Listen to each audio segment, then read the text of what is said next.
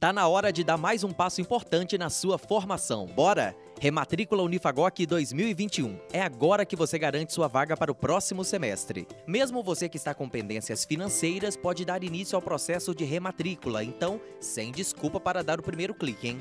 Essa etapa não envolve movimentação financeira, ou seja, o boleto da renovação não será gerado agora. Basta entrar no Siga com o seu login. Logo que entrar no sistema, vai aparecer a tela da rematrícula. Leia todas as instruções. Tô de olho, hein? Não vai falar que não entendeu. Leia todas as instruções e siga o passo a passo. Caso você possua FIES, nessa etapa você poderá aceitar a antecipação do lançamento já no seu primeiro boleto do semestre. Na última tela, você vai receber informações sobre a próxima etapa, que é a montagem da grade. Tudo certinho, entendido? Não está conseguindo acessar as disciplinas desse semestre? Calma, calma, não criemos pânico. Acesse o menu superior e selecione 2021.1. Pronto, resolvido. Te vejo na próxima etapa que começa no dia 21 de junho.